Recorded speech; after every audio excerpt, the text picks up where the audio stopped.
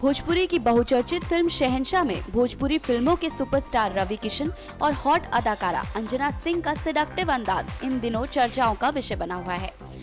हाल ही में फ़िल्म के कुछ डिज़ाइन सोशल मीडिया पर आए हैं, जिसके कारण दर्शकों में काफ़ी उत्सुकता देखने को मिली।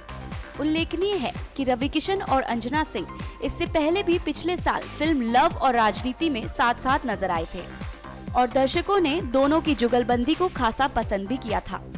आपको बता दें कि रवि किशन के साथ ही अपने फिल्मी सफ़र की शुरुआत करने वाली अंजना सिंह की शहनशाह पचासवीं फ़िल्म है। बता दें कि शहनशाह के हॉट सीन वाले पोस्टर के बारे में सवाल पूछने पर ना तो रवि किशन कुछ कहते हैं और ना ही अंजना सिंह कुछ बोली।